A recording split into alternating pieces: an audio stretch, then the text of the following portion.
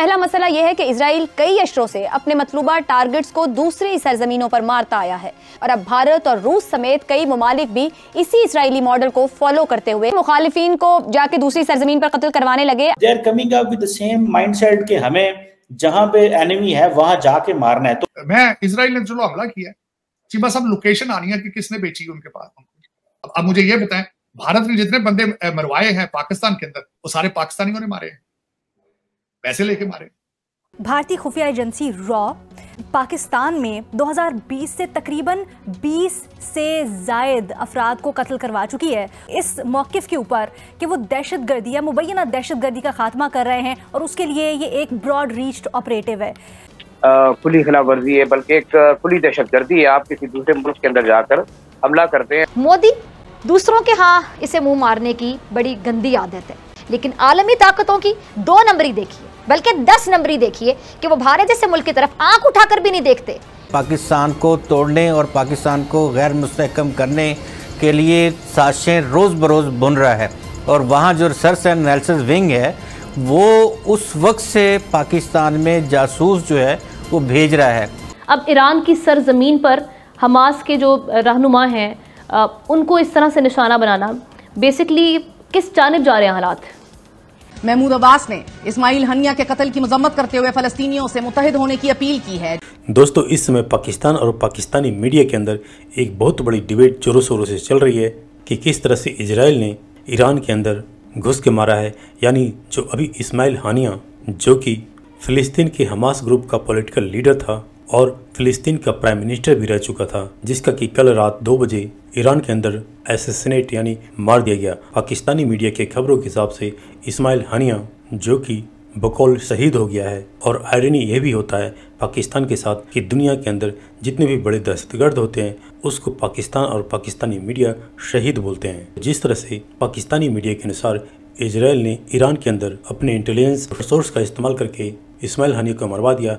उस पर पाकिस्तानी मीडिया इस बात पर डिस्कस कर रही है कि जिस तरह से इसराइल अपने दुश्मनों को दूसरे देश के अंदर मरवा रहा है, ठीक उसी तरह से उसी सीख करके कई देश, खासतौर से पाकिस्तानी मीडिया भारत की ओर इशारा करके इस बात पर डिस्कस करने लगा है कि भारत भी पाकिस्तान के अंदर उन लोगों को मरवा रहा है जो खासतौर से कश्मीर के अंदर किसी न किसी रूप में दहशतगर्दी से रिलेटेड कामों में जुड़े थे या कश्मीर के अंदर आतंक फैला रहे थे। तो दोस्तों, आइए देखते हैं पाकिस्तानी मीडिया की इस लेटेस्ट वीडियो को।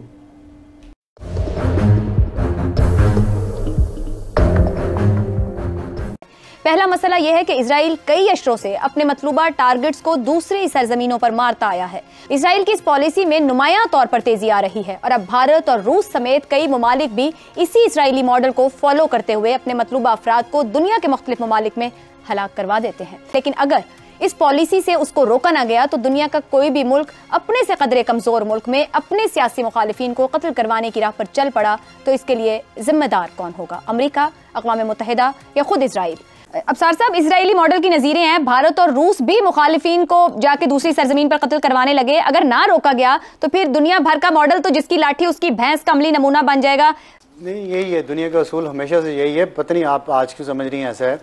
जिसकी लाठी, उसी की भैंस होती है। और हम कमज़ोर हैं, मुनाफिक हैं, खुद गर्ज हैं। तो ये होगा, हमारे साथ मुसलमानों की बात कर रहा हूँ। हमें अच्छा खाना मिल रहा है, अच्छे घर में रह रहे हैं सुकून से। फ़लस्तीनी मर गए मर गए, क्या फ़र्क पड़ता है? सबकी हम अल्लाह ताला पूछेगा तो सही हमसे। हम तो पाकिस्तान की बात करें तो पाकिस्तान तो आबादी बढ़ा रहा है। अरबियों की बात करें तो वो अपने मफादात हैं, उनकी ज़िंदगी है कम्फर्टेबल है। पूरी इंसानी तारीख में पहली बार इतनी आसाइश ज़िंदगी मिली है। तो वो इसको क्यों ज़ाया करेंगे? तो वो कर रहे हैं, मौज कर रहे हैं, फ़लस्तीनी मर गए तो क्या हुआ? थोड़े से हैं। अल्लाह खैर सल्ला। कि बहुत सारे लोग भारत के अंदर जो है वो इस्माइल हानिया की जो मौत है, उसको सेलिब्रेट कर रहे हैं। वो कह रहे हैं कि दिस इज़ गुड रिडन्स मतलब ठीक है अच्छा हुआ, चला गया। कई लोगों का पाकिस्तान में ये कहना है कि इंडिया और इसराइल की एक ही स्ट्रैटेजी है।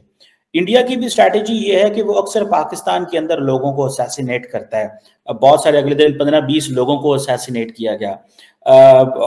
जो कश्मीर के रिलेटेड कहीं ना कहीं आपको याद है पिछले फॉरेन सेक्रेटरी ने उसके ऊपर प्रेस कॉन्फ्रेंस भी की। इसराइल भी ऐसे ही करता है कि इसराइल दूसरे मुल्कों में जाके असैसिनेट करता है। तो आपको लग रहा है कि कहीं ये भारत और इसराइल नोट्स तो नहीं एक्सचेंज करते? और इसीलिए क्योंकि जैसे हमास जो है, वो उसकी गजा के अंदर टनल्स निकलती हैं। तो अब इंडिया की जो फोर्स है, वो कहती है कि जी कश्मीर के अंदर भी टनल्स मौजूद हैं।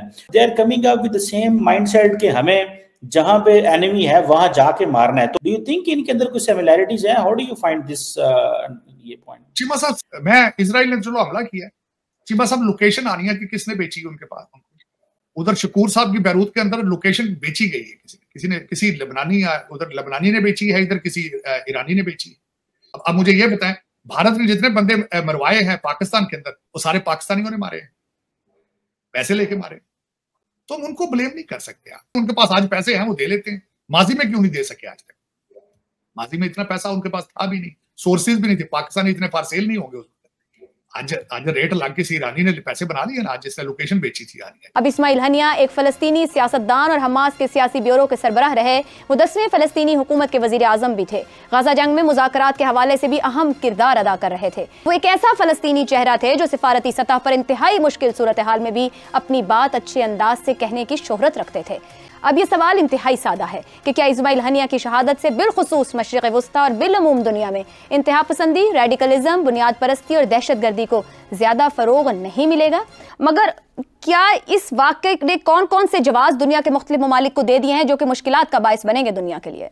अच्छा आप दहशत गर्दी कह रही हैं। दहशत गर्दी क्यों? दहशत गर्दी की ज़रूरत क्यों पेश आए? अरब ममालिक जो कि उसके गिर्द हैं तो फिर उनको दहशत गर्दी की करने की क्या ज़रूरत है? उनके पास अफवाज है उनके पास हाँ। अपने कौम मुल्क है उनके पास। लेकिन उसके बाद उससे आगे जब आप बढ़ते हैं जी इंतहा पसंद तंजीमें भी होती हैं और उसको फिर जब वो ये काम करती हैं तो इंतहा पसंद तंजीमें तो फिर आप उनको कहते हैं कि अच्छा ये एक उनका रेलिवेंट टैक्टिक है। तो रेलिवेंट टैक्टिक मैं नहीं समझता हाँ। कि दहशत गर्दी एक रेलिवेंट टैक्टिक है। अगर आपको कुछ करना है तो आप उसको ओपन वॉर के शुरू कीजिए। दहशत गर्दी को हया देने की या उसको ज़्यादा री करने की मेरे हाल में हमें आर्ग्यूमेंट नहीं देनी चाहिए ना ही इसकी कोई गुंजाइश बनती है। बिल्कुल सही कह रहे हैं अपने आप को काबल बनाएँ इसमें सौ साल लगे दो सौ साल लगें फिर मुकाबला करें उनका। क्योंकि देखें जहाँ तक जज्बात की बात है जहाँ तक इंसानी जानों की बात है जो गज़ा में हुआ इससे ज़्यादा और क्या इंसान कुर्बानी दे सकता है? इंसान तो यही कर सकता है ना हाँ। कि अपनी जान दे दे। तो मेरा ख्याल है कि अब जान देने के अलावा इनको सोचना चाहिए कि इस इसराइल का मुकाबला कैसे किया गया? और ये ईरान के लिए बड़ी एम्बेरसमेंट हुई है। अभी चंद दिन पहले उनका एक प्रेसिडेंट जो है एक हादसे का शिकार हुआ। दुनिया के 80 ममालिक की डिग्निटीज़ वहाँ पे मौजूद हैं और रात दो बजे ये हमला कर दिया जाता है। ये भी सवाल बहुत सारे उठाए जाएँगे और ख़ुद ईरान के अंदर ये जो मामला शुरू होगा उसको भी तो देखना है हम्म। कि उसके नतज क्या होंगे। तो मैं इतफाक़ करता हूँ कि अपने आप को ताकत दें। साइंस में ताकत दें अपने हथियारों पर गौर करें अच्छे हथियार बनाएँ। तैयारी करनी होगी और तैयारी करनी होगी साइंसी अंदाज से। ताकत हासिल करो टेक्नोलॉजी की और फिर ये जंग लड़ सकते हो तो लड़ो।